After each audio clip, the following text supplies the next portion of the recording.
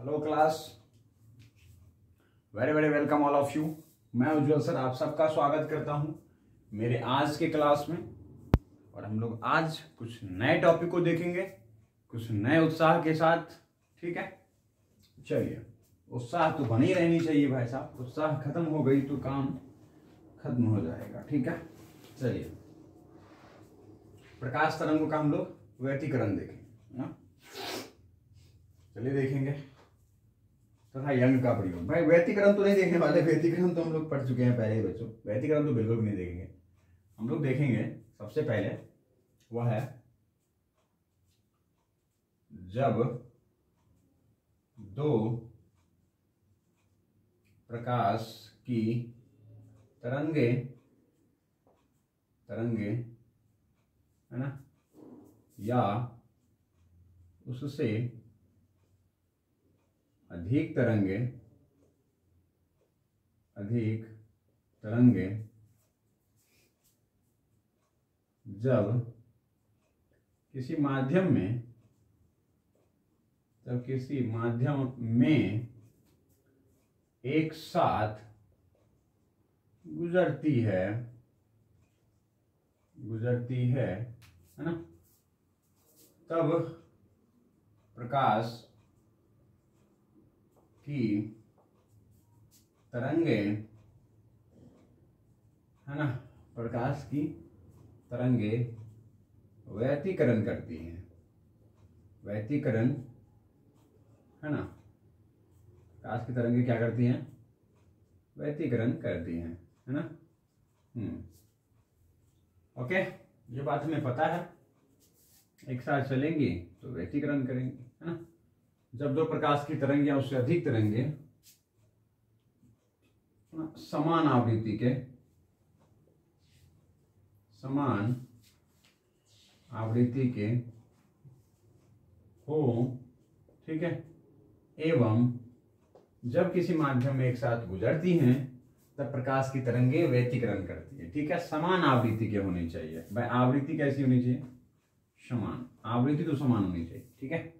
तभी ये करेंगे। ओके, चलिए। अब हम लोग आते हैं बच्चों, यंग्स के प्रयोग पर, ठीक है?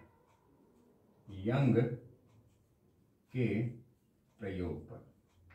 यंग्स ने क्या किया बच्चों? क्या चीज़ का प्रयोग किया? देखिए। ठीक है? एक प्रकाश के स्रोत एस से, ठीक है, एक प्रकाश के स्रोत एस से, एक प्रकाश के स्रोत एस से, ठीक है, नियत आवृत्ति के किसी, ठीक है, किसी पर्दे पर दो छिद्र से एक प्रकाश के स्रोत एस से नियत आवृत्ति के किसी पर्दे पर दो छिद्र से, ठीक है, गुजारी जाती है। गुजारी एस से प्रकाश, नियत आवृत्ति के प्रकाश, नियत आवृत्ति के प्रकाश किसी पर्दे पर दो छिद्र से गुजारी जाती है, तब, है ना, वह परस्पर व्यतीकरण कर व्यतीकरण कर अन्य सामने पर्दे पर, ठीक है? सामने पर्दे पर क्या बच्चों पर्दे पर, है ना? चमकीले एवं, ठीक है? चमकीला एवं, ओके? काली पट्टियों पट्टियों का निर्माण करते हैं। पट्टियों का क्या करते हैं? निर्माण करते हैं। ठीक है? इन पट्टियों को, इन पट्टियों को, है ना? इन पट्टियों को क्रमशः क्रमशः बी एवं डी से व्यक्त किए जाते हैं। व्यक्त किए जाते हैं। ठीक है? किए जाते हैं। कुछ कहानियाँ हैं, कुछ थ्योरियाँ हैं, आपको पता है, शुरुआत में कुछ कहानियाँ, कुछ थ्योरियाँ ली जाती है। बच्चों, देखिए, कोई एक, अब देखिए, क्या था बच्चों? समझिएगा, मैं कुछ आपको समझाता हूँ। क्या? अगर मान लीजिए, यहाँ पर क्या है? ठीक है, यहाँ पर क्या है? एक बल्ब है, ठीक है। एक मान लीजिए, बच्चों, क्या है? एक बल्ब है, ठीक है। ये एस वन बल्ब है, ठीक है। बच्चों, मान लीजिए, यह एस टू बल्ब है, ठीक है। यह क्या करती है? यह क्या करती है? इस तरफ़ प्रकाश निकालती हैं। ठीक है? निकाल दिया बच्चों, ये हमारे पास एस टू स्रोत है। यह कुछ इस प्रकार प्रकाश निकालते हैं। ठीक है? कोई दिक्कत? नो प्रॉब्लम तो बच्चों, अगर इस तरह से ये बल्ब है हमारे पास, दो स्रोत हैं। ठीक है? हमने क्या किया? दो बल्ब। ठीक है? दो बल्ब प्रकाश के प्रकाश के स्रोत रूप में लिया। प्रकाश के स्रोत रूप में लिया। ठीक है? ले लिया। तो बच्चों, क्या ये प्रकाश के स्रोत? क्या ये प्रकाश के स्रोत निश्चित कला संबंध के तरंगे उत्सर्जित कर सकती हैं? क्या कर सकती हैं? ये जो तरंग होंगे और ये जो तरंग होंगे, क्या ये तरंगे निश्चित आवृत्ति के होंगे? बोलिए। क्या सॉरी निश्चित कला के होंगे? क्या इन दोनों की जो कलांतर है, इन दोनों की तरंगों की, क्या ये होंगे? ठीक है, ये बात मैं नोट करके बता रहा हूँ, ठीक है? नोट करके बता रहा हूँ। बताइए, करेंगे? तो देखिए बच्चों, ये प्रकाश, ये जो दो बल्ब हैं, किसी भी बल्ब से प्रकाश कैसे निकलती है? कैसे निकलती है? तो बच्चों परमाणु लिए जाते हैं, ठीक है? इनमें क्या होती है? कुछ परमाणु प्रयोग किए जाते हैं। उन परमाणुओं पे क्या होते हैं कि बच्चों, ऊर्जाएँ आपतित की जाती है। उस ऊर्जा को, उस परमाणु के इलेक्ट्रॉन्स ग्रहण करके, ठीक है, वो क्या करते हैं? उच्च ऊर्जा स्तर में चले जाते हैं। फिर उस उच्च ऊर्जा स्तर में लगभग दस के घात माइनस आठ सेकेंड तक रहते हैं। सोच लीजिए कितनी कम समय अंतराल के लिए रहता है। दस के घात माइनस आठ सेकेंड तक रहता है।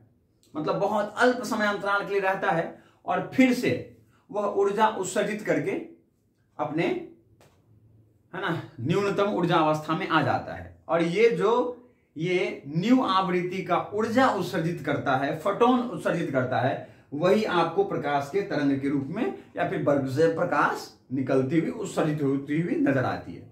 समझ गए? बल्बों से प्रकाश उत्सर्जित होती हुई नज़र आती है। कैसे आई समझ में आई? कैसे आई? ठीक है। किसी परमाणु को बल्ब के, है ना, बल्ब के तंतु के रूप में लेने पर, ठीक है बल्ब के है ना ईंधन के रूप में लेने पर ओके बल्ब के ईंधन, ठीक है, बल्ब के ईंधन के रूप में लेने पर उसके परमाणु को अतिरिक्त ऊर्जा मिलने पर, है ना, अतिरिक्त ऊर्जा मिलने पर उच्च ऊर्जा स्तर में चले जाते हैं। चले जाते हैं, ठीक है? उसके पश्चात उसके पश्चात दस घात माइनस आठ सेकेंड तक वहाँ रहने के बाद, ठीक है? उच्च ऊर्जा के, उच्च ऊर्जा के, ठीक है? प्रकाश उत्सर्जित, प्रकाश मतलब क्या तो विकिरण उत्सर्जित कर, है ना? प्रकाश उत्सर्जित कर, प्रकाश उत्सर्जित, है ना? कर, ओके? निम्न ऊर्जा स्तर में, निम्न ऊर्जा स्तर में आ जाते हैं। निम्न ऊर्जा स्तर में आ जाते हैं, ठीक है? आ जाते हैं। और इस प्रकार से प्रकाश उत्पन्न होती है बल्बों से, ठीक है? तो बच्चों, क्या मान लीजिए, ठीक है? मान लीजिए कि इस बल्ब के जो परमाणु थे, उनके कोई इलेक्ट्रॉन्स ऊर्जा ग्रहण करके मान लीजिए इसमें चले गए। चले गए?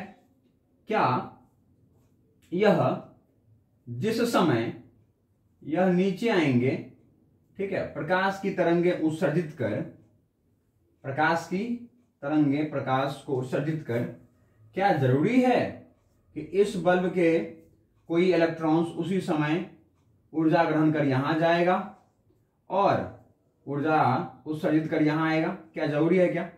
इसके इलेक्ट्रॉन्स जिस समय ऊर्जा उत्सर्जित कर, है ना, अपने कक्षा में आए हैं, क्या ये ज़रूरी है कि इस इस बल्ब के इलेक्ट्रॉन्स भी ऊर्जा उत्सर्जित कर नीचे वाले ऊर्जा, है ना, नीचे वाले स्तर में आए होंगे? ज़रूरी तो नहीं है ना? अगर नहीं है तो ये दो अलग अलग प्रकाश की बल्बे जो हैं, वह उसके जो कला है, उसके अंतर निश्चित नहीं रहेंगे समय के साथ।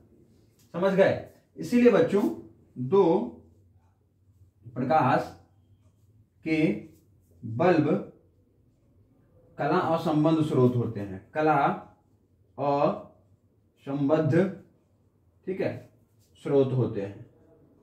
स्रोत होते हैं। समझ गए?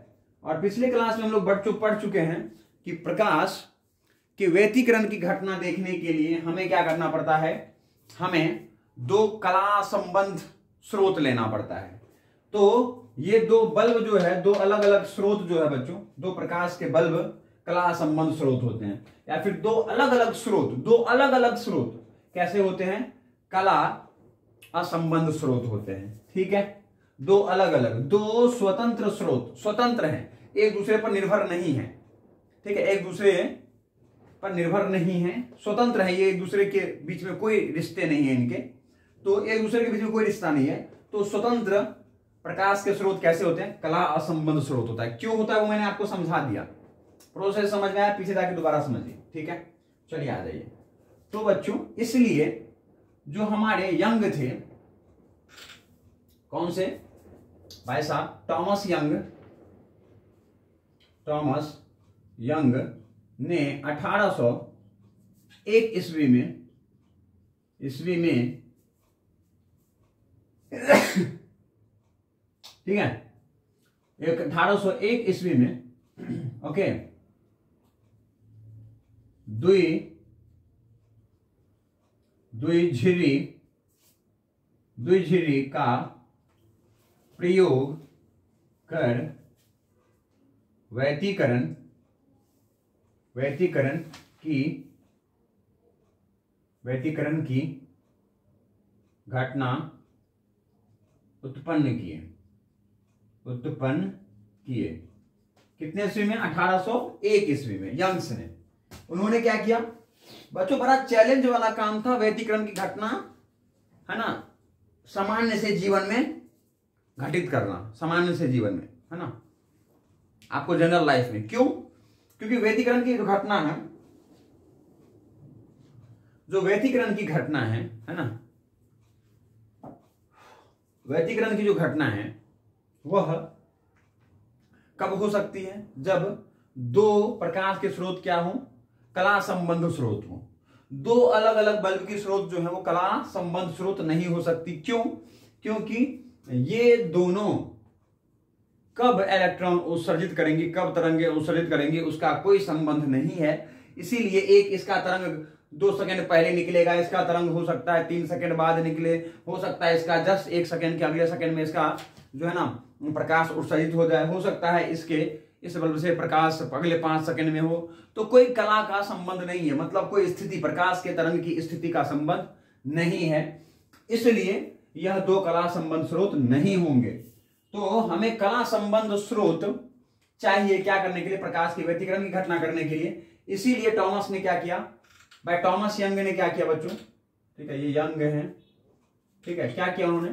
उन्होंने, बच्चों, एक प्रकाश के स्रोत एस से नियत आवृत्ति के प्रकाश किसी पर्दे पर दो छिद्र से गुजारे गए। तब वह परस्पर व्यतिकरण अन्य कर अन्य सामने पर्दे पर चमकीला एवं काले पट्टियों का निर्माण करते हैं। और इन पट्टियों को क्रमशः बी एवं डी से व्यक्त किए जाते हैं, ठीक है? और यह पट्टियाँ यह पट्टियाँ, ठीक है? फ्रिंजे कहलाती है। क्या कहलाती है? फ्रिंजे कहलाती है। ठीक है? नो प्रॉब्लम और और फ्रिंजों के समूह क्या कहलाते हैं?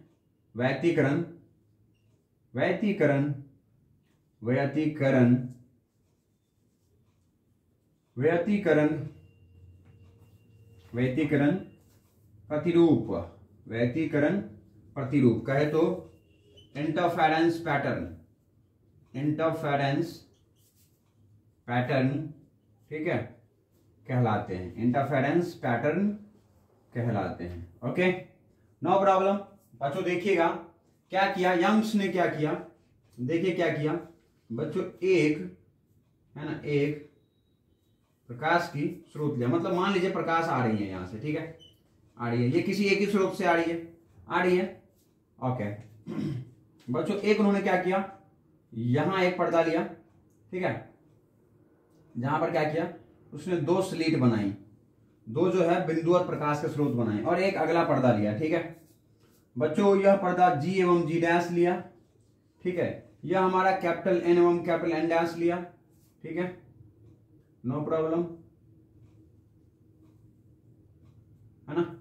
और यह हमारा के एवं के डैश लिया, ठीक है? बच्चों, देखिए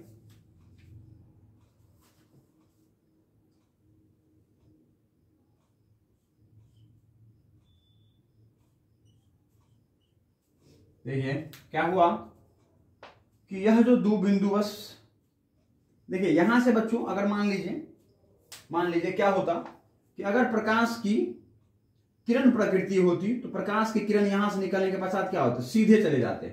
चले जाते ना? ये क्या है बच्चों? हमारे, ये प्रकाश के स्रोत हैं। कौन से स्रोत हैं? एस नाम का। ये कौन है बच्चों? S one and S two है। ठीक है? नो प्रॉब्लम ये बच्चों, इसको हम लोग ओ कह देते हैं। ठीक है? ओके देखिए क्या है कि बच्चों, अगर प्रकाश की किरण होती तो ये सीधे चले जाती, है ना? जाती या नहीं जाती? मतलब इन दो छिद्रों से बाहर नहीं निकल पाती और नहीं निकल पाती तो हमारे व्यतिकरण की घटना नहीं हो पाती, है ना? बच्चों, क्योंकि प्रकाश क्या होती है? तरंग होती है। ये प्रकाश की किरणें हैं। किरणों के, आपको पता है, लंबवत क्या चलती है? तरंग आग्रह चलती है। चलती है? हाँ। ये लंबवत क्या चलती है बच्चों? तरंग आग्रह जब किसी तरंग आग्र को आपतित किए जाते हैं एकल स्रोत पर तो ये कैसे होते हैं बच्चों? ऐसे ऐसे आगे बढ़ते हैं। ठीक है? ये ऐसे, देख लो। क्या हमने ये देखा था? क्या देखा था हमने? कि बच्चों, जब तरंग आग्र जब तरंग आग्र किसी छिद्र से बाहर निकलेंगे तो यह इस प्रकार की तरंग आग्र का निर्माण करेगा। बोलो हाँ या ना? क्योंकि इस छिद्र पर आने के पश्चात प्रकाश की किरणें क्या हो जाएँगी? इन इन दिशाओं में फैल जाएँगी। बोलो। इन इन दिशाओं में क्या हो जाएगा बच्चों? फैल जाएगा। फैलेगा? हाँ। ये प्रकाश की किरणें हैं। किरणों के लंबवत क्या होते? तरंग आग्रह। ये क्या है हमारे पास? ये हमारे पास तरंग आग्रह। ठीक है? ये तरंग आग्रह हैं। ये क्या है? ये क्या है? प्रकाश की किरणें हैं। कहाँ से आ रही हैं? किसी स्रोत से। ठीक है? किसी एकल स्रोत से। उसको इस पतले से बिंदुवत स्रोत से बाहर निकाला गया। ठीक है? या मान लो यहाँ पर कोई एक प्रकाश स्रोत ही ले लिया गया ओके ये आगे बढ़ी। ओके बच्चों, अब क्या हुआ? ये जो है, इन इन स्रोतों से, जो एस और एस टू है, जिनके बीच की जो दूरी है, वो क्या है? स्मॉल डी है। इन दो इन दो बिंदुवत स्रोतों के बीच। ओके हम्म और बच्चों, इन दो पर्दों के बीच जो है वो क्या है? कैपिटल डी दूरी है। ओके बच्चों, क्या होगा कि जब ये, इसमें से कोई किरण आएगा और यहाँ से गुजरेगा तो ये यहाँ से जब गुजरेगा, आपको पता है, ये है हमारे पास क्या? तरंग आग्र ये तरंग आग्र जब इन दो छिद्रों से गुजरेगा तो पता है ये कैसे बनाएँगे? ये ऐसे बनाएँगे, ये आगे ऐसे बढ़ेंगे। ठीक है? ये कैसे बढ़ेंगे? ये आगे ऐसे बढ़ेंगे। ठीक है? ये ऐसे आगे बढ़ेंगे, ऐसे। ठीक है? ये ऐसे आगे बढ़ेंगे। बढ़ेंगे? हम्म। बढ़ेंगे, ये ऐसे आगे बढ़ेंगे, देख लो। ओ हो, क्या बनाया हमने। अरे बोलो, ये ऐसे आगे बढ़ेंगे। अब बढ़ने के बाद देख लो देख लो भाई साहब, इसे और आगे बढ़ाया जाए। इसे अगर और आगे बढ़ाया जाए, इसको ऐसे आगे बढ़ाया जाए, इसको ऐसे आगे बढ़ाया जाए, ठीक है? हम्म देख लो देख लो अगर इसको ऐसे आगे बढ़ाया जाए, इसको अगर यहाँ से बढ़ाया जाए, ठीक है, यहाँ से, देखो देखो भाई साहब, इसको अगर और इधर बढ़ाया जाए इसको इधर बढ़ाया जाए, इसको इधर बढ़ाया जाए, इसको इधर बढ़ाया जाए। ये देखो, देख लो भाई साहब, इस इस बिंदु पर वो क्या कर रहा है? देख लो, इस इस बिंदु पर क्या कर रहे हैं वो? ये व्यतीकरण कर रहे हैं, देख लो, ये इस इस बिंदु पर क्या कर रहे हैं? व्यतीकरण कर रहे हैं भाई साहब, देख लो। कर रहे हैं। ये बच्चों क्या कर रहे हैं? व्यतीकरण, हैं? हम्म। ये देखो, क्या कर रहे हैं? व्यतीकरण, है ना? ये देखो। ये व्यतीकरण कर रहे हैं, ठीक है? हम्म। ये क्या कर रहे हो, सर जी? सर जी, ये क्या कर रहे हो? सर जी, बता तो दो, क्या कर रहे हो? अपने आप से किए जा रहे हो, है ना? बताता हूँ बच्चों क्या कर रहा हूँ। देखो, ये देखो। भाई भाई साहब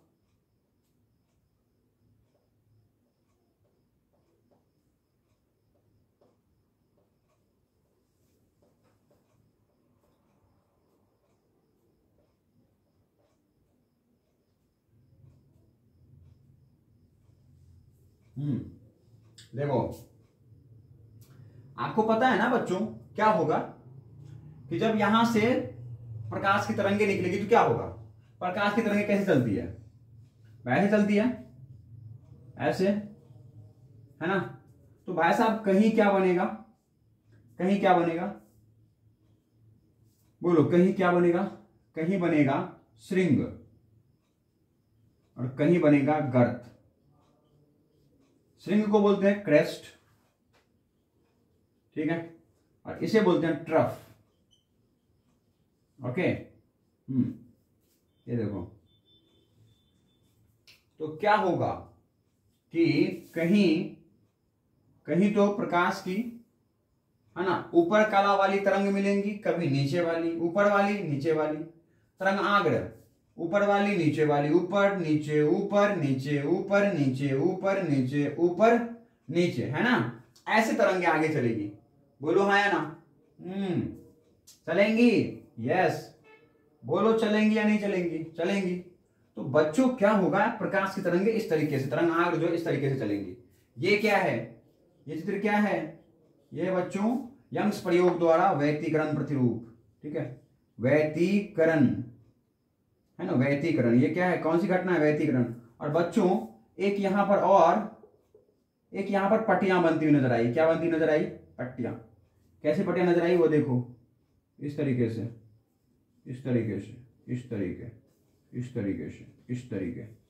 इस तरीके से। इस तरीके। इस तरीके से। इस तरीके से। ठीक है? बच्चों, ये क्या है? ये है ये है पट्टियाँ। ये ब्राइट वाली पट्टियाँ। ये ब्राइट। ये ब्राइट ब्राइट बीच वाली ब्राइट ब्राइट ब्राइट ब्राइट और ब्राइट बीच वाली कौन सी है? डार्क ये जो सफ़ेद वाली है वो डार्क ये डार्क ये डार्क ये डार्क ये डार्क ये डार्क ये डार्क मतलब बच्चों, इस पर्दे पर व्यतीकरण होगा। होगा? इस पर्दे पर व्यतीकरण होता हुआ कौन सा नज़र आएगा? कभी विनाशी, कभी संपोषी। संपोषी कब होता है? संपोषी कब होता है? जब ऊँचा ऊँचा वाला और नीचे नीचे वाला मिलता है। विनाशी कब होता है? जब ऊपर वाली तरंगे नीचे, है ना, नीचे नीचे वाली तरंगों से मिलती है। बोलो, ऊपर वाली, नीचे वाली। जब दोनों ऊपर वाली और जो दोनों नीचे वाली बनती है तो संपोषी व्यतीकरण। दोनों नीचे वाली मिलकर के और भी परिणामी तरंग का निर्माण करेगा। दोनों ऊपर वाली परिणामी का। बोलो हाँ या ना? दिखाऊँ कैसे? देखो। देखो, मैं दिखाता हूँ। दिखा के फिर मैं मिटा दूँगा, देखो।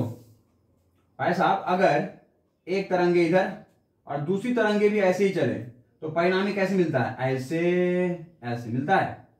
बोलो, ये है परिणामी, ये है वाई नेट ये कौन सा है? वाई वन और ये कौन सा है? ये है वाई टू बोलो। लेकिन जब मान लो ये ऐसे हैं और दूसरी तरंगे ऐसे हैं। तो ये ऊपर वाला, ये नीचे वाले को कैंसिल ये ऊपर वाला, ये नीचे वाले को कैंसिल बोलो, है ना?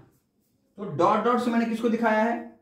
डॉट से दिखाया है मैंने गर्त को। गर्त, नीचे वाले को गर्त बोलते हैं और ऊपर वाले को श्रिंग। श्रिंग गर्त श्रिंग गर्त। तो जब श्रृंग श्रृंग वाला मिलेगा और गर्त गर्त वाला मिलेगा तो क्या होगा? बोलो। श्रिंग श्रिंग वाला मिलेगा और गर्त गर्त वाला तो संपोषी व्यतीकरण वहाँ पे वहाँ पे ब्राइट मिलेंगी। देख लो। ये डॉट वाला, ये डॉट वाला और ये डॉट वाला मिल रहा है। मिल रहा है? तो मैं इसको काले से दिखा रहा हूँ। देखो। देखो, ये डॉट वाला है और ये भी डॉट वाला। यहाँ मिल रहा है, ये काला वाला है ना? देखो, ये डॉट वाला और ये भी डॉट वाला तो यहाँ पे काला है। है या नहीं है? ये देखो। ये ये भाई साहब है ना? और जो ब्लू वाला है, देख लो। जो ब्लू वाला है है ना? ये ब्लू वाला, ठीक है?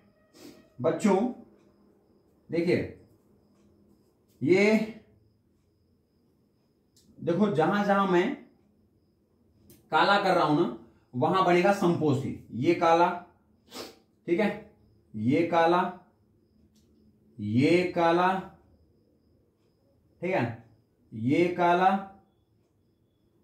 ओके? जितने को मैंने काले किए हैं, वो क्या बनेंगे? वो बनेंगे संपोषी और मैं लाल कर रहा हूँ, ठीक है? देख लो, ये बनेंगे विनाशी। भाई साहब, ये बनेंगे विनाशी, ठीक है? ये बनेंगे विनाशी। क्यों? क्योंकि डॉट वाला और, ठीक है, इसको बोलते हैं विच्छिन्न। और इसको बोलते हैं, देखो, भाई साहब, डॉट वाले को हम लोग क्या बोल रहे हैं? विच्छिन्न। और पूरे कंटिन्यूस वाले को क्या बोल रहे हैं? अविच्छिन्न।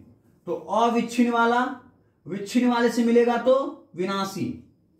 देखो, ये विच्छिन्न वाला, ये अविच्छिन्न वाला। अच्छा डॉट है ना? तो ये है विच्छिन्न और ये है अविच्छिन्न। जो बच्चों लगातार रेखा से दिखाई गई, उसको हम लोग बोलते हैं अविच्छिन्न। क्या बोलते हैं? अविच्छिन्न। अविच्छिन्न। ठीक है? और जो डॉट से दिखाए गए बच्चों, उसको हम लोग किस दिखाते हैं? उसको हम लोग बोलते हैं विच्छिन्न ठीक है? विच्छिन्न विच्छिन्न का मतलब डॉटेड ठीक है? और अविच्छिन्न का मतलब कंटिन्यूअस कंटिन्यूअस ठीक है? हम्म देख लीजिए। ओके पहले आप स्क्रीनशॉट लीजिए इसे। है ना? स्क्रीनशॉट लीजिए। ले लीजिए स्क्रीनशॉट ले लीजिए आप। ले लिए। बच्चों यंग्स ने प्रयोग किया। प्रयोग करके क्या किया? उन्होंने प्रयोग किया और प्रयोग करके क्या किया? क्योंकि भाई साहब, दो अलग अलग स्रोत से नहीं बन सकते थे प्रकाश की व्यक्तिकरण इसीलिए एक ही स्रोत बनाने की कोशिश किया। भाई साहब, यहाँ से निकलने वाली स्रोत कि अगर कोई भी कला में परिवर्तन आएगा तो इस पर और इस पर पहुँचने वाले, ठीक है स्रोत पर भी जो तरंग पहुँच रही है, जो प्रकाश पहुँच रही है, उनके भी उतने ही कला में के बीच में अंतर आएगा। और इस तरह से दो स्रोतों के तरंगों के कलांतर में निश्चित अंतर बना रहेगा। ठीक है? निश्चित अंतर बना रहेगा। क्योंकि अगर इस स्रोत पर कोई भी कला में अंतर आएगा तो वही प्रकाश यहाँ भी पहुँच रही है और यहाँ भी पहुँच रही है। इसीलिए इन दोनों स्रोतों पर जो तरंग आग्र है, उनकी कलांतर क्या रहेंगे? समान। इनसे उत्पन्न होने वाली जो तरंग है, इनसे उत्पन्न होने वाली जो तरंग है, वो दो अलग अलग तरंग है। ये भी ये भी इस तरह से तरंग उत्पन्न करेगा। ये वाला चित्र भी इस तरह से तरंग उत्पन्न करेगा। बोलो। और इन दोनों तरंगों के बीच में कला क्या रहेंगे? कलांतर क्या रहेंगे? निश्चित रहेंगे। इसीलिए ये दोनों क्या हैं? ये हैं कला संबंध स्रोत। ठीक है? कैसे हैं? कला संबंध स्रोत। ठीक है? परस्पर वैधिकरण अन्य समान पर्दे पर चमकीला एवं काले पट्टियों का निर्माण होता है। देख लो। ये देखो, जब यहाँ पर वैधिकरण जहाँ जहाँ संपोषी होगा, वहाँ पे वहाँ पे ब्राइट पट्टियाँ बनेंगी, चमकीला पट्टियाँ। और जहाँ जहाँ पर बच्चों ये विच्छिन्न और अविच्छिन्न लाइन है ना, मिली है ना, वहाँ पे क्या बनेगा? डार्क वाला। ये बीच वाला मैंने डार्क, है ना, बीच वाले जो भाग है, उसको मैंने डार्क कहा है। और जितने भी मैंने ब्लू से दिखाया, उसको मैंने क्या कहा है? उसको मैंने ब्राइट फ्रिंज कहा है। तो इस पर्दे पर बच्चों क्या होगा? कहीं पर डार्क मिलेगा। डार्क। ठीक है? सॉरी, यहाँ डार्क यहाँ डार्क यहाँ डार्क यहाँ dark dark dark dark dark. और सबसे बड़ी बात क्या बात है? पता है बच्चों, जो मध्य भाग है ना, ये या, ये वाला ये वाला, ये देखो, जो ये सेंटर है सेंटर है, इस सेंटर पर बच्चों क्या मिला? ब्राइट फ्रिंज मिली। कैसे मिली? ब्राइट। एकदम चमकीला पट्टी मिला, देख लो, ये चमकीला, ठीक है? और जो बीच वाला भाग है ना, उसको मैं ब्लूस दिखा रहा हूँ, ये बीच वाला भाग, ये ये, है ना, ये ओके ये, है ना, ये वाला भाग, ये ये ये, है ना, ये ये कैसे मिले? जो ब्लूस दिखाया मैंने, वो कैसे पट्टियाँ हैं? भाई साहब, वो पट्टियाँ मिली मुझे, क्या मिली, कैसी पट्टियाँ मिली? वो बच्चों, पट्टियाँ मिली मुझे ब्राइट वाला और बीच में डार्क वाला। समझे? तो जब ये दो तरंगे मिलती हैं तो कहीं विनाशी विनाशी बनेंगे। विनाशी पट्टियाँ मिलेंगी तो उसे डार्क बोलेंगे। जहाँ पर संपोषी मिलेगा, वहाँ पे ब्राइट पट्टियाँ मिलेंगी। तो बच्चों, ये बहुत ही तगड़ा वाला घटना था। क्या पता है कि दो प्रकाश से मिलके भी कहीं अंधेरा बना रहा था। पहली बार ऐसी कुछ घटना होती प्रकाश के व्यतीकरण से क्या होता है? जब दो प्रकाश मिलती हैं, एक संपोषी वाला और एक विनाशी वाला तो वहाँ अंधेरा हो जाता है। मतलब प्रकाश जहाँ है, वहाँ पर अंधेरा भी हो सकता है, समझो। व्यतीकरण की स्थिति में, देख लो।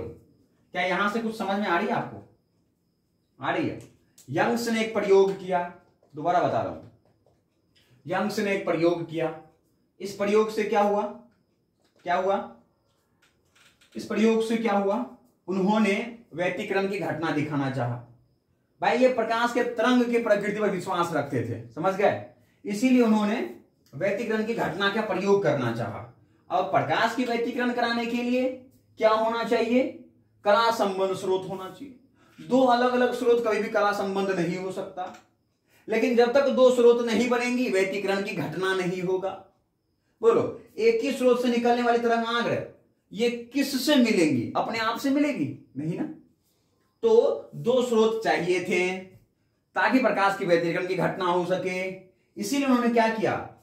एक पर्दा लिया, उस पर एक छिद्र काट दिया। फिर एक सामने पर्दा लिया, उस पर दो छिद्र काट दिए। और ये दोनों छिद्र इससे जितना ऊपर है, उतना ही ये नीचे है। और इन दोनों प्रकाश स्रोतों के बीच में कितनी दूरी है? स्मॉल डी दूरी है। समझ गए? हम्म।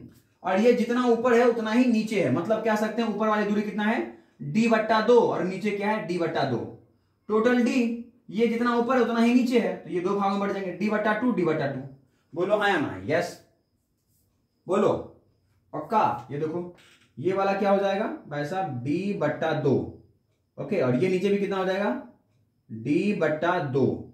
ठीक है? हाँ। ओके? हम्म। तो बच्चों, इसीलिए उन्होंने क्या किया? एक वर्णिश है ना? एक वर्ण का, एक कोई रंग का प्रकाश लिया, उसे किसी एक छिद्र से पार कराया और उसके बाद उन्होंने एक और पर्दा लिया जिस पर दो छिद्र, जो छिद्र, दो बिंदु छिद्र काट दी, ठीक है? और उसके बाद एक सामने छिद्र, एक पर्दा लिया जिस पर वो व्यतीकरण की घटना देखना चाहा, ठीक है? बच्चों, यहाँ पर अगर जो भी कला में अंतर आएगा, ये इन तरंग में, है ना? इन प्रकाश तरंग में कला में अंतर आएगा। यही तरंग यहाँ से भी गुजर रहा है, यही तरंग यहाँ से भी बाहर निकल रहा है। इसीलिए इस प्रकाश में जितना कला का अंतर आएगा, उतना ही इन दोनों तरंगों के बीच में कला का अंतर आएगा और कलांतर क्या रहेंगे? निश्चित रहेंगे। बोलो हाँ या ना? इसीलिए बच्चों, ऐसा कुछ घटना किया उन्होंने। किसने? यंग्स ने, टॉमस यंग ने, अठारह सौ ईस्वी में। और इस तरह से जब प्रकाश की तरंगे व्यतीकरण की व्यतीकरण करने के पश्चात उन्होंने दो प्रकार की स्थितियाँ उत्पन्न की। कहीं कहीं अंधेरा छा गया। दो प्रकाश मिलने पर अंधेरा कहाँ छाएगा? जहाँ संपोषी व्यतीकरण होगा। और, आहा, अंधेरा कहाँ छाएगा? विनाशी व्यतीकरण होगा। और चमकीला पट्टियाँ मिली मुझे इस पर। वो क्या होंगी? वो हमारे पास कैसी होंगी? पैसा वो ब्राइट फ्रिंज होंगी जहाँ पे संपोषी व्यतीकरण होगा संपोषी कहाँ होगा वो मैंने बता दिया, जहाँ विच्छिन्न और इसके विच्छिन्न मिलेंगे, या फिर जहाँ इसके अविच्छिन्न और इसके अविच्छिन्न मिलेंगे। अगर इसके विच्छिन्न वाला लाइन डॉटेड वाला लाइन और इसके अविच्छिन्न वाला लाइन मिलेगा ना तो वहाँ पे क्या होगा? विनाशी व्यतीकरण ठीक है? ये भी मैंने आपको बता दिया। भाई साहब, एक ऊंचाई वाला तरंग निकलेगा, एक बार तरंग नीचे जाएगा फिर से ऊपर, फिर से नीचे, फिर से ऊपर, फिर से नीचे। यहाँ भी ऐसा होगा? पहले ऊपर गया तरंग, फिर नीचे। पहले ऊपर, फिर नीचे। पहले ऊपर, फिर नीचे, है ना? और जहाँ जहाँ ऊपर वाला, ऊपर वाले से मिलेगा, वहाँ पे ब्राइट जहाँ पर नीचे वाला, इसके नीचे वाले से मिलेगा, वहाँ पे भी ब्राइट क्योंकि वहाँ पे भी संपोषी होगा। जहाँ पर इसके ऊपर वाले, इसके नीचे वाले से मिलेगा, वहाँ पे विनाश होगा, और वहाँ पे डार्क पट्टियाँ मिलेंगी इस पर्दे पर। अरे यार, इतना अगर मैंने किसी दूसरे बच्चे को बताया होता तो समझ आ गई होती, है ना? चलो। भाई साहब, बड़ा ही खूंखार टॉपिक है। स्क्रीनशॉट ले लो। भाई साहब, ये, इससे क्वेश्चन आएँगे आएँगे। यंग्स का प्रयोग।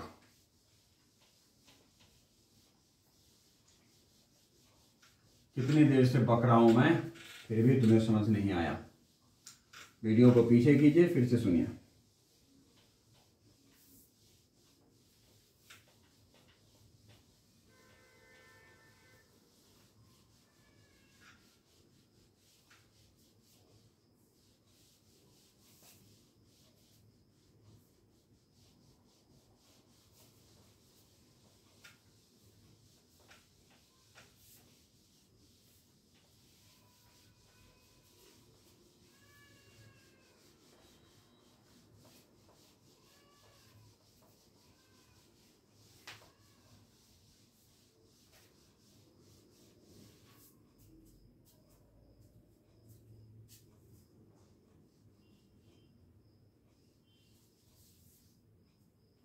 आगे बढ़े? चलिए आगे बढ़ते हैं। पूरी कहानी और पूरी माजरा मैंने आपको समझा दिया ठीक है? चलिए एक स्लाइड में ही मैंने आपको पूरी माजरा और पूरा है ना? देखिए तो क्या क्या हुआ भाई साहब? यहाँ से ठीक है? यहाँ से पर्दा लिए ठीक है? और बच्चों क्या हुआ?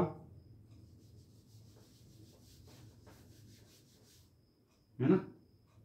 क्या हुआ कि बच्चों, यहाँ पर सेंटर है और मैंने कहा था, इस सेंटर पर क्या होगा? इस सेंटर पर क्या होगा? इस सेंटर पर भाई साहब मैक्सिमा मिलेंगी, ठीक है? यहाँ पर संपोषी व्यतीकरण होता हुआ नज़र आया। क्यों हुआ संपोषी व्यतीकरण? क्योंकि यहाँ पर जो तरंग पहुंचेगा, वहीं, वहाँ पर वही तरंग पहुंचेगा, इसीलिए यहाँ पर क्या मिला मुझे? कौन सी पट्टियाँ मिली ब्राइट वाली मिली, ठीक है? ब्राइट वाली पट्टियाँ मिली, समझ गए? हम्म ओके और बच्चों, इसके जस्ट ऊपर डार्क फिर ब्राइट मिली, है ना? फिर डार्क फिर ब्राइट मिली। फिर डार्क फिर ब्राइट मिली। फिर डार्क फिर ब्राइट मिली। मतलब ये कर्मागत रूप में मिला मुझे। कर्मागत रूप में, ठीक है? कर्मागत। कर्मागत रूप में मिला मुझे ये, है ना?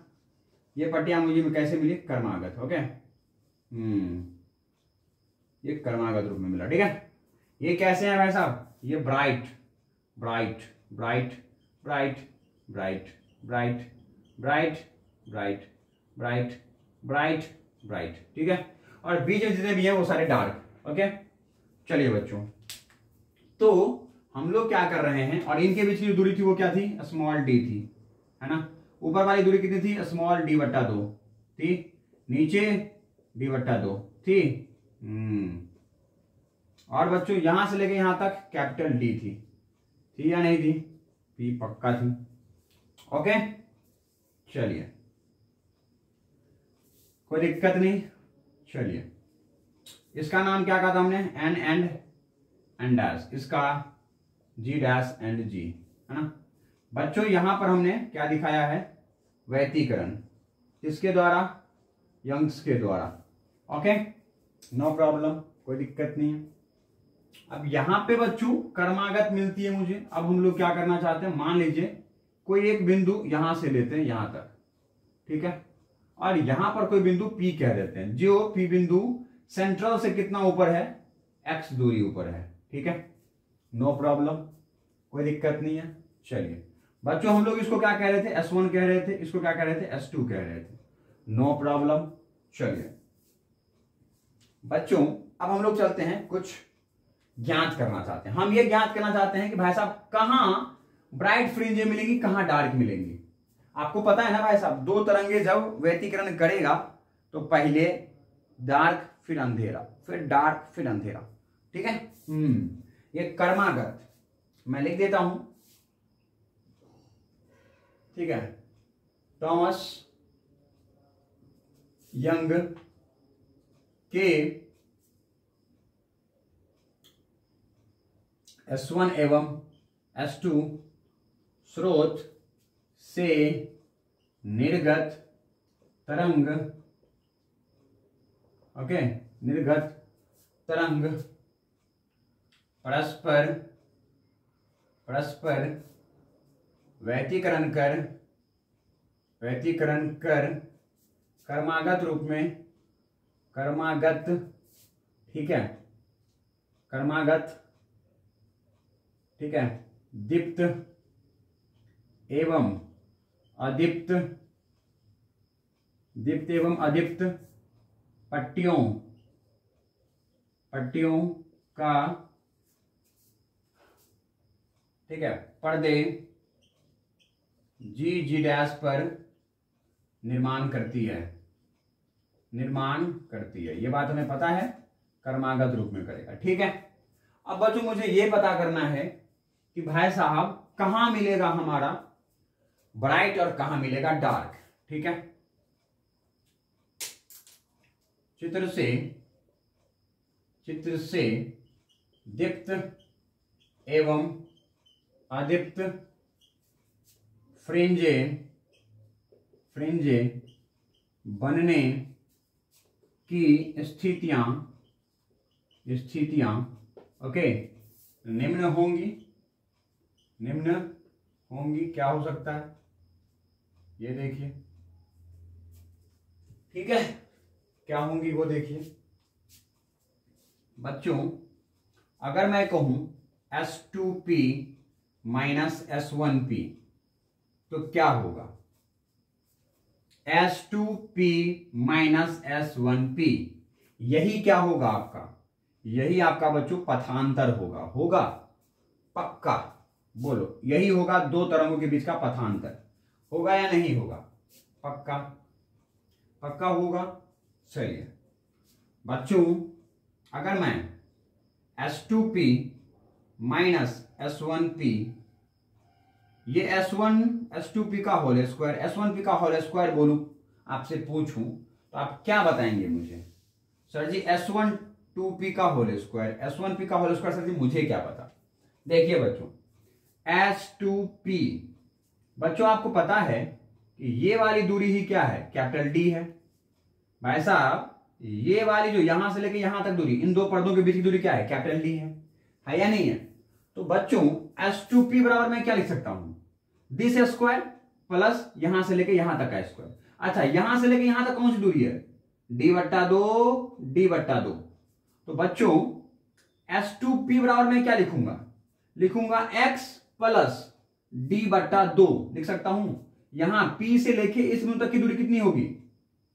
एक्स प्लस डी बट्टा दो। होगा? तो एस टू पी बराबर क्या आ जाएगा? भाई साहब, ये कर्ण बराबर क्या होगा? आधार का स्क्वायर प्लस लंब का स्क्वायर मतलब कहे तो D square plus X plus D बट्टा टू का होल स्क्वायर होगा? भाई साहब, देखो। भाई साहब, क्या होगा? डी स्क्वायर प्लस एक्स बट्टा डी का एक्स प्लस डी बटा दो का होल स्क्वायर ठीक है? होगा भाई साहब, देखिए। होगा या नहीं होगा? होगा? माइनस एस वन पी क्या होगा? एस वन पी ये कर्ण बराबर क्या होगा? आधार का स्क्वायर प्लस दिस स्क्वायर बच्चों, ये वाली दूरी कितनी है? तो इस एक्स में से अगर ये दूरी घटा दी जाए तो बचेगा ना यहाँ से लेके यहाँ तक की दूरी? बोलो। एक्स में से, अरे एक्स में से अगर ये दूरी घटा दी जाए तो बचेगा ना? इस स्लिट से ऊपर की ऊंचाई, सामने लंब की ऊंचाई तो ये कितना है? डी बट्टा दो। तो मैं क्या लिख सकता हूँ? लिख सकता हूँ, यहाँ से लेके यहाँ आधार का स्क्वायर आधार क्या है? Capital D. ठीक है, प्लस क्या आ जाएगा? एक्स माइनस स्मॉल डी बटा दो का होल स्क्वायर। आएगा? आएगा नहीं आएगा? आएगा। बराबर। बच्चों, यहाँ D square minus D square. Cancel हो जाएँगे? बोलो। यस। अब इसका स्क्वायर करो, क्या हो जाएगा? एक्स स्क्वायर प्लस डी बटा टू का स्क्वायर क्या हो जाएगा? D square plus four plus क्या हो जाएगा? Two A B two X गुना में डी बटा दो. होगा? होगा या नहीं होगा? अब इसका स्क्वायर करो। माइनस लगाओ, अंदर स्क्वायर करो। एक्स का square X square minus B का स्क्वायर तो क्या हो जाएगा? प्लस डी स्क्वायर बटा में फोर और माइनस टू ए बी तो टू एक्स और डी बटा दो. होगा? यस भाई साहब माइनस गुना कीजिए। माइनस एक्स स्क्वायर आपस में क्या हो जाएँगे? Cancel X square plus D square बटा में फोर प्लस टू से टू कैंसिल तो क्या मैं लिखूं? एक्स और गुना में डी बोलिए, लिख सकता हूँ। फिर माइनस एक्स स्क्वायर फिर माइनस है ना? माइनस डी स्क्वायर बटा में फोर माइनस माइनस प्लस दो से दो कैंसिल क्या आ जाएगा? एक्स डी होगा। यस बच्चों, अगर मैं इस एक्स स्क्वायर को इस एक्स स्क्वायर से कैंसिल कर दूँ, इस डी स्क्वायर बटा फोर को मैं डी स्क्वायर बटा फोर कैंसिल कर दूँ X D plus X D कितना आएगा? टू एक्स डी के बराबर होगा। बोलिए। दिस इज़ माई सेकेंड समीकरण। बोलिए हाँ या और ये बच्चों S two square minus S one P का होल स्क्वायर का वैल्यू है ये। समझ गए? पक्का? स्क्रीनशॉट लीजिए।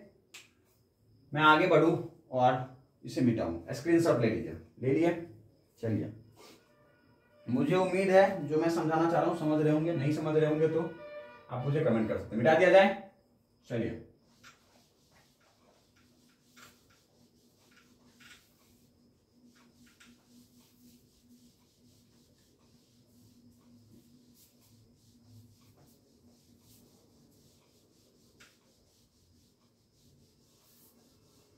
जल्दी से मुझे बताएँ बच्चों, क्या कि जो हमारे पास, जो हमारे पास एस टू पी का whole square minus S one P का होल स्क्वायर आया कितना आया? टू एक्स डी आया है है ना?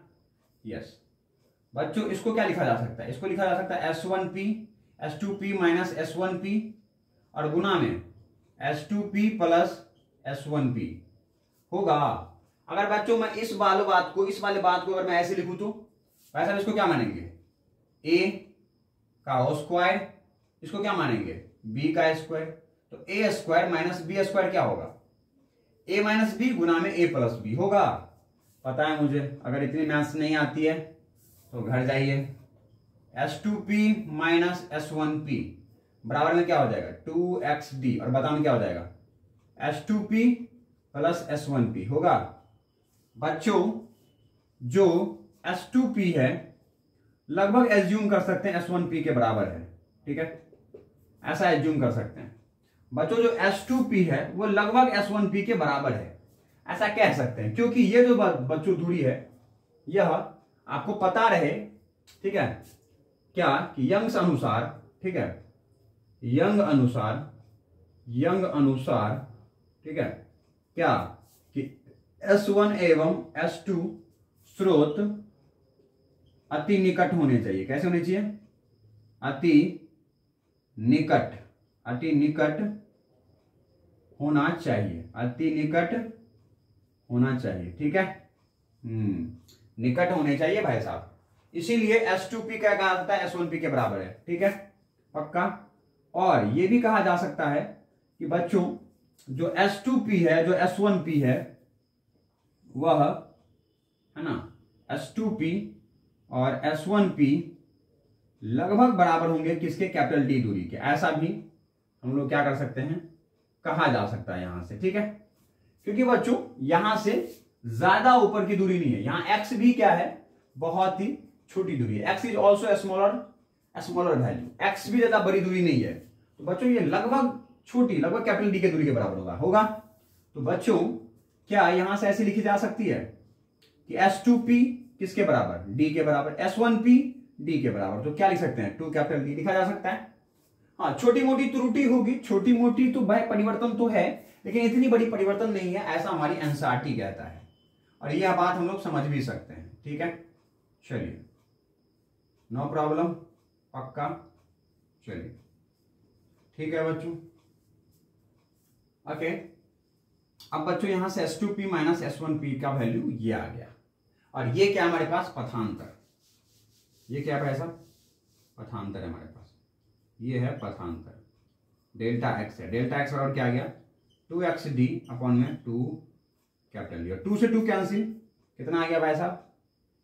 टू सॉरी एक्स डी और बटा में कैपिटल डी आ गया? पक्का? हम्म। ये समय का नंबर कितना हो गया? तीन हो गया। नो प्रॉब्लम मिटा दी जाए इसे। मिटा दिया जाए।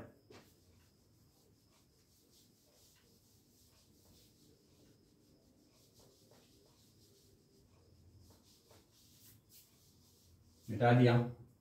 बच्चों, है ना?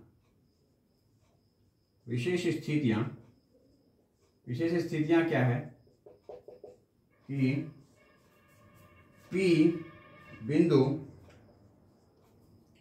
दीप्त पट्टियाँ पट्टियाँ हो, तब अगर दीप्त पट्टियाँ हैं, कैसी पट्टियाँ हैं?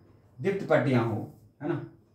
दीप्त पट्टियाँ हो, तब पथांतर पथांतर एन लेमडा के क्रम का हो सकता है। क्रम का हो सकता है। बोलिए हाँ या ना? पक्का? मैं पठान के बराबर कितना ले लू? N lambda. एन लेमडा बराबर क्या हो जाएगा इधर? एक्स डी और बटा में दो। एक्स एक्स कौन से वाले का? एनवे वाले का। होगा या नहीं होगा? एनवे फ्रिंज का एनवे दीप्त पट्टियाँ एनवे क्रम का। तो यहाँ से एक्सन बराबर क्या आ जाएगा? एक्सन बराबर आ जाएगा। टू इधर चला जाएगा। तो टू एन लेमडा और बट्टा में क्या हो जाएँगे? ओ हो हो।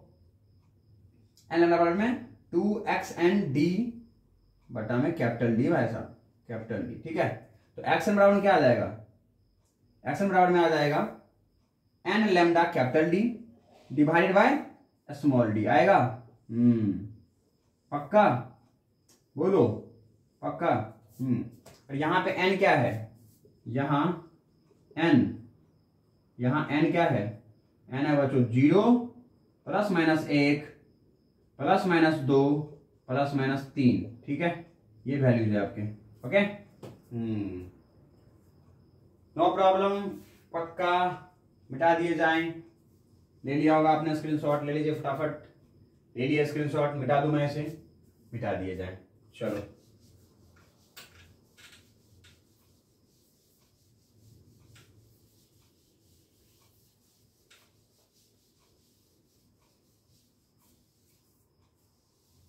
आओ। आते हैं। अब ये तो बात थी, किस पर? ये बात थी पहला। ठीक है, दूसरे बिंदु क्या है? ये है अधिप्त पट्टियाँ। पट्टियाँ होने पर होने पर विनाशी व्यतिक्रम विनाशी व्यतिक्रम विनाशी व्यतिक्रम होगा होगा और इस स्थिति में, इस स्थिति में पथांतर कितना होगा भाई साहब? टू एन प्लस वन गुना में लेमडा बटा टू होगा। होगा? रख दीजिए कंडीशन पथांतर की जगह। Two N plus one, lambda बटा टू, बराबर में क्या हो जाएगा? बराबर में हो जाएगा X N D X N small D बटा में कैपिटल डी यहाँ से आ जाएँगे एक्स एन बराबर में, क्या आ जाएँगे? Two N plus one lambda बटा टू ठीक है? Divided by multiply by capital D divided by small D होंगे? हम्म एक्शन बराबर में ये आ जाएगा ओके नो प्रॉब्लम पक्का? हम्म नो प्रॉब्लम बोलो। ये समय का नंबर कितना? चार हुए थे पाँच लिख दो। ये समय का नंबर छ लिख सकते हैं आप लिख लीजिए। मिटा दिया जाए इसे। चलिए मिटाते हैं।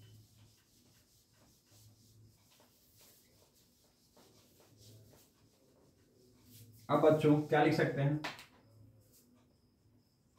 दो क्रमागत दो क्रमागत दीप्त एवं दीप्त एवं अदीप्त। दो दीप्त एवं अदीप्त पट्टियों के मध्य, ठीक है, मध्य दूरी। इसको बच्चों हम लोग बीटा से दिखाएँगे। किसको? दो कर्मागत दीप्त या आदित्य पट्टियों के बीच की दूरी। देखिए, बच्चों ये क्या है? ब्राइट, और ये है ब्राइट। इन्हीं दोनों के बीच में जो दूरी है ना उसको हम लोग कहेंगे बीटा। ओके या जो डार्क है ना जो दो डार्क है और जो ये दो डार्क है इस दोनों के बीच दूरी को हम लोग दिखाएँगे बीटा। इसको है ना इसको क्या कहेंगे? दीप्त एवं अदीप्त पट्टियों के मध्य की दूरी। ठीक है? हम्म। इसी को हम लोग बच्चों फ्रिंज चौड़ाई कहते हैं। ठीक है? बीटा को फ्रिंज चौड़ाई कहते हैं, ठीक है? फ्रिंज चौड़ाई कहते हैं, ओके? हाँ है ना? दीप्त एवं अदीप्त फ्रिंजों की चौड़ाई कहा जाता है इसे, ओके? हम्म इसको इंग्लिश में फ्रिंज विथ कहते हैं। ये कितना होगा बच्चों? ये होगा X N plus one minus X N होगा? है ना? होगा या नहीं होगा? हम्म X N plus one minus X N कितना होगा? पहले वाले का कितना आया था? भाई साहब, दूसरे नंबर वाले का, दूसरे नंबर वाले का कितना होगा? दूसरे नंबर वाले का होगा two N two lambda two lambda capital D divided by small D, minus. यही तो होगा, चेक करो पीछे पीछे चेक करो। ये किसकी लिख रहा हूँ मैं? ये लिख रहा हूँ मैं ब्राइट फ्रिंजों की, ठीक है? पहले वाले क्या हो जाएगा? Lambda capital D divided by small D बराबर में कितना आ जाएगा? Lambda capital D divided by small D. यही आ जाएँगे बीटा का वैल्यू किसके लिए? ये देखो। पक्का? हम्म। और अगर मैं डार्क के लिए लिखू तो? डार्क के लिए। बच्चों दूसरे नंबर पे क्या आ जाएगा? दो दूनी चार चार एक पाँच। पाँच लेमडा बटा दो। पाँच लेमडा ठीक है? बटा में दो गुना में कैपिटल डी और नीचा में स्मॉल डी होगा? पक्का। माइनस। और एक रखने पे दो एक तीन थ्री लेमडा थ्री लेमडा बटा में कैपिटल डी स्मॉल में टू स्मॉल डी बताइए कितना आएगा? पाँच में से तीन गया तो दो। दो lambda capital D divide by कितना होगा? टू स्मॉल डी बराबर में कितना हो जाएगा? Two cancel lambda capital D divided by small D आएगा? ये देखो। तो बच्चों फ्रिंज विड्थ जो है, वह किसके लिए? डार्क के लिए और ब्राइट के लिए। क्या आते हैं? शेम आते हैं, है ना? ये देखिए। ये समीकरण नंबर सात, ये समीकरण नंबर आठ। देख लीजिए। देख लीजिए भाई साहब। ये किसकी थी? ब्राइट की। था या नहीं था। और ये किसकी थी? डार्क की। तो डार्क और ब्राइट की कंडीशन जो लाया है ना, उसी में से आप वैल्यू रख देख लीजिए। चौड़ाई तो निकालना है। दूसरे में से पहले के बीच की दूरी की चौड़ाई निकाल लीजिए। पाई नहीं समझे क्या? हम्म। पहला जहाँ डार्क बन रहा है और दूसरा डार्क बन रहा है, उन दोनों के बीच की चौड़ाई तो ज्ञात करनी है। पहला जो ब्राइट बन रहा है और जो दूसरा ब्राइट बन रहा है, उनके बीच की चौड़ाई तो क्या कहलाती है? फ्रिंज चौड़ाई तो कहलाती है। समझ में आई क्या बात? उसको बीटा से दिखा रहे हैं हम लोग यहाँ पे। किसे दिखा रहे हैं? बीटा से। ठीक है? चलिए। इसका भी स्क्रीन लीजिए। ले लीजिए आप। पक्का। भाई साहब, कितना लगातार तगड़ा क्लासेस चल रहा है और तुम हो, कितने प्राइस से भाग रहे हो। तुमको बस आराम चाहिए। इतनी बड़ी सिलेबस ऐसे थोड़ी दिन खत्म होती है भाई। आराम से खत्म होती तो भाई साहब सब खत्म करते हैं। सब गाय भैंस बकरियाँ सब बैठ के पढ़ रही होती साइंस सब थोड़ी पढ़ पाती है। सबके बस की बात थोड़ी है। भाई साहब भाई साहब, इस साइंस का नाम सुन के कई लोग के हाथ पैर कांपते हैं। और तुम बात कर रहे हो। देखो। देखो भाई साहब। क्या कह रहे हैं हम? हम आपसे क्या कह रहे हैं वो देखो। तो आपको बच्चों, दीप्त फ्रिंजो और अदिप्त फ्रिंजों की चौड़ाई भी ज्ञात हो गई। हो गई? पक्का? बच्चों, मध्य भाग में, तुम्हें बताओ। पता है तुमको, यहाँ पर फ्रिंजे कैसे बनेंगी? मतलब प्रकार है ना ऊर्जा का वितरण कैसे होगा? तुमको हमने दिखाए थे। तुमको हम दिखाए थे। दिखाए थे? ऐसा कुछ बनेगा। है ना? ऐसा कुछ बनेगा। है ना? ऐसा कुछ बनेगा। भाई साहब सेंटर पे कितना होगा? फोर आई नोट बोलो हाँ या ना? होगा या नहीं होगा? देखो। भाई साहब डार्क ब्राइट डार्क मैं इसको मैं इसको एकदम और ही अच्छे से बना सकता हूँ। पता है कैसे देखिए, मैं दिखाता हूँ। मैं दिखाता हूँ ऐसा। इसे और अच्छे से बनाई जा सकती है। देखिए कैसे।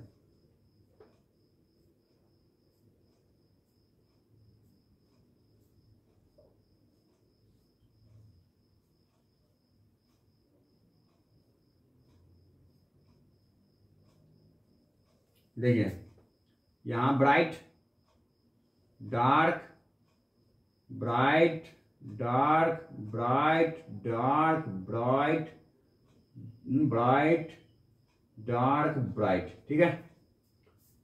है ना? Dark bright dark bright dark bright dark bright dark bright dark bright ठीक है? ये देखो। भाई साहब, यहाँ पे dark bright dark bright dark bright dark bright dark bright. समझ गए? ये देखो। भाई साहब इस बिंदु पे कितना होगा? Four I naught. और इस बिंदु पे कितना होगा? ज़ीरो। इंटेंसिटी कितनी होगी? ज़ीरो। इस बिंदु पर इंटेंसिटी कितनी होगी? इस बिंदु पर फोर आई नोट। होगा? हम्म। या फिर नहीं तो इंटेंसिटी कितना होगा? इंटेंसिटी बराबर होता है भाई साहब, क्या? I one plus I two plus two root under I one root under I two और गुना में कॉस फाइव होता है क्या? अगर बच्चों, है ना, तीव्रता, ये क्या है? तीव्रता इंटेंसिटी है है ना? हमें पता है अगर आई वन अगर आई टू बराबर हो किसके? आई नोट के तो क्या हो जाएँगे? है ना? यदि हो, तब। क्या कहेंगे? आई बराबर आई वन का वैल्यू आई नोट के बराबर। आई वन आई टू का वैल्यू आई नोट के बराबर। टू गुना में root under I one root under I one का मतलब I naught root under I two I two का मतलब आई नोट और गुना में कॉस फाइव होगा। भाई साहब I naught plus I naught कितना होता है? Two I naught plus root under I naught root under I naught क्या बन जाएगा? आई नोट बन जाएगा। और गुना में क्या हो जाएगा? कॉस फाइव होगा। बताओ। भाई साहब टू आई नोट कॉमन ले लिया जाए, अंदर क्या बचेगा? वन प्लस कॉस फाइव बचेगा? हम्म। बचेगा या नहीं बचेगा? बच्चों वन प्लस कॉस फाइव का फॉर्मूला क्या होता है? फॉर्मूला होता है क्या? Two one plus cos five two cos square five बट्टा टू ये फॉर्मूला होता है। ठीक है? देखो वन प्लस कॉस फाइव का फॉर्मूला होता है कितना? टू कॉस स्क्वायर फाइव बट्टा टू, ये मैथ्स वाले को पता है, अगर आपको नहीं पता है तो आप इसे याद रख लीजिए, ठीक है? हम्म बच्चों, टू आई नोट, है ना? और टू इधर ले आओ तो कितना बनेगा ये? Four I naught, four I naught, और कितना हो जाएगा कॉस स्क्वायर फाइव बट्टा टू। जिसके मुझे, है ना, जिसके मुझे कला कोण नहीं पता है, ठीक है? सॉरी, जिसके मुझे कलांतर नहीं पता, ये फाइव क्या है? कलांतर है। जब मुझे दो तरहों के कलांतर नहीं पता है तब मेरा जो इंटेंसिटी है वो ये आ जाएगा। ठीक है? हम्म, ये इंटेंसिटी आ जाएगा। जब मुझे कलांतर नहीं पता ये कौन समीकरण हो जाएगा? आठ नौ जो भी समीकरण है वो लिख लीजिए। ठीक है? हम्म, जब मुझे कलांतर नहीं पता तब ये हमारा इंटेंसिटी हो जाएगा। नो प्रॉब्लम आपको मैंने ये भी दिखा दिए ऊर्जा वितरण किस तरीके से हो रहा है? चलिए मिटाए जाए इसे स्क्रीनशॉट लीजिए फटाफट। ले लिया होगा आपने। पक्का? मिटा दूँ? चलिए मिटा देता हूँ।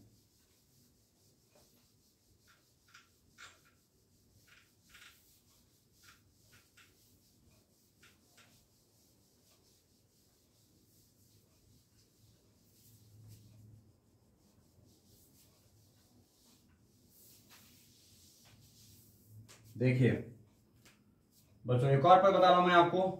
कोणीय कोणीय फ्रिंज? कोणीय फ्रिंज चौड़ाई? कोणीय फ्रिंज चौड़ाई, ठीक है? कोणीय कोणीय का मतलब बच्चों?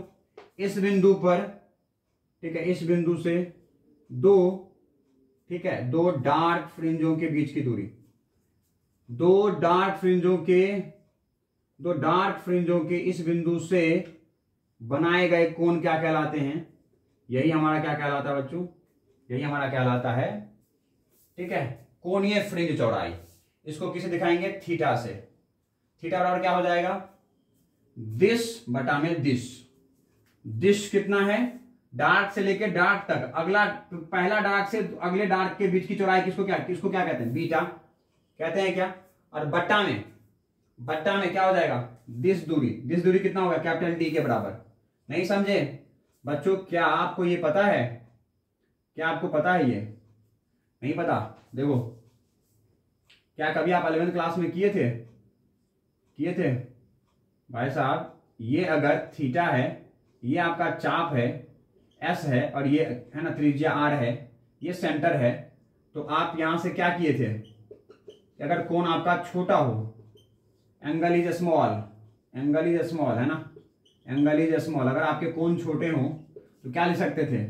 थीटा बराबर क्या लिखते थे? कोणीय विस्थापन बराबर। चाप और बटा में त्रिज्या। एस और बटा में आर लिखते थे? पता है क्या आपको? हाँ। तो अगर ये कोण थीटा छोटा है तो थीटा और क्या हो जाएगा? सामने वाला दूरी और बटा में कैपिटल डी होगा। हम्म। बच्चों, यहाँ से यहाँ से थीटा बराबर, बीटा, बोलो। चाहे वो डार्क हो, चाहे ब्राइट हो, उसके लिए रेखीय चौड़ाई क्या होती थी? रेखीय चौड़ाई होती थी लेमडा गुना में। क्या? चौड़ाई होती थी हमारे पास, क्या होती थी? चौड़ाई क्या हुई थी हमारी, बताओ। बीटा बराबर क्या प्राप्त हुआ था मुझे? बोलो, बीटा बराबर क्या प्राप्त हुआ था? बीटा बराबर मुझे क्या प्राप्त हुआ था? बीटा बराबर, बोलो। बीटा बराबर फॉर्मूला तुम्हें क्या प्राप्त हुआ था पीछे, ये बताओ। बीटा बराबर क्या प्राप्त हुआ था? लेमडा ठीक है? स्मॉल डी और बटा में कैपिटल डी ये तो प्राप्त हुआ था। हुआ था? बोलो। नहीं हुआ था? भाई साहब एन लेमडा बराबर में, ठीक है? एक्स स्मॉल डी बटा में कैपिटल डी ना? तो capital D N capital D capital D हो जाएगा भाई साहब। कैपिटल डी और बटा में स्मॉल डी है ना? ये होंगे भाई साहब बीटा बराबर। तो बीटा बराबर हो जाएगा कैपिटल एस लेमडा गुना में कैपिटल डी बटा में स्मॉल डी है ना? और बटा में क्या? कैपिटल डी कैपिटल डी से कैपिटल डी कैंसिल क्या आ जाएगा। लेमडा गुना में स्मॉल डी किसके बराबर? कोणीय फ्रिंज चौड़ाई बराबर, ठीक है? ये लीजिए, ये कौन सा समीकरण? ग्यारह समीकरण, ठीक है? पक्का? ये कोणीय फ्रिंज विड्थ है, फ्रिंज की चौड़ाई है, ओके? चलिए तो बच्चों स्क्रीनशॉट ले लीजिए। पक्का? तो आपके यंग्स का प्रयोग यहीं पर खत्म होता है, ठीक है? यंग्स के लिए जो हमारे पास है ना? डेरिवेशन हैं, जो फिगर्स हैं, हमारी यही खत्म होती है, ठीक है? हाँ बच्चों लास्ट में मैं आपको एक फिगर दिखा सकता हूँ, क्या? कि देखिए, अगर आपके पास, अगर आपके पास इस पर कोई स्रोत एस है, अगर आपके पास यहाँ कोई स्रोत बीच से ऊपर एस वन है, यहाँ पर और यहाँ पर आपके पास एस टू है, ठीक है? यहाँ पर कोई पर्दा है तो इस पर्दे पर आपको क्या प्राप्त होगा? यहाँ से कोई प्रकाश निकलेंगी, मध्य भाग से होती हुई इनके मध्य भाग में। तो यहाँ क्या होगी भाई साहब? यहाँ आपको डार्क मिलेंगी सॉरी ब्राइट मिलेंगी, यहाँ ब्राइट मिलेंगी, यहाँ ब्राइट यहाँ ब्राइट यहाँ ब्राइट यहाँ ब्राइट यहाँ ब्राइट यहाँ ब्राइट डार्क से मैंने ब्राइट को दिखाया है है ना? सेंट्रल पे ब्राइट मिलता है है ना? ब्राइट मिलता है ब्राइट मिलता है ब्राइट ब्राइट ब्राइट है ना? ये है भाई साहब किसके? ये है ये है यंग्स द्वारा वैतीकरण प्रतिरूप वैतीकरण प्रतिरूप, ठीक है? हम्म। इसी फिगर के साथ हम आपसे विदा लेते हैं, ठीक है? ले लीजिए, फटाफट आप स्क्रीनशॉट ले लीजिए इसका, ठीक है? तो हम आपसे विदा लेते हैं बच्चों। अगली बार हम लोग फिर मिलते हैं नेक्स्ट वीडियो में। पढ़ाई करते रहिए, खुश रहिए हँसते खिलखिलाते रहिए, ठीक है? मेरी तरफ़ बिल्कुल भी टेंशन में मत रहिए। हम आपकी टेंशन ले रहे हैं तो आपको किस बात की चिंता? जब तक हनुमान है हमारे साथ तो हमें किस बात की चिंता है ना? चलिए, हँसते, मुस्कुराते रहिए। अपना ख्याल रखिए, अपनों का ख्याल रखिए, परिवार वालों का ख्याल रखिए माता पिता का आदर कीजिए और पढ़ाई करते रहिए। अगली बार मिलते हैं। Till then bye good night and thank you to watch my this video and see you soon bye thank you bye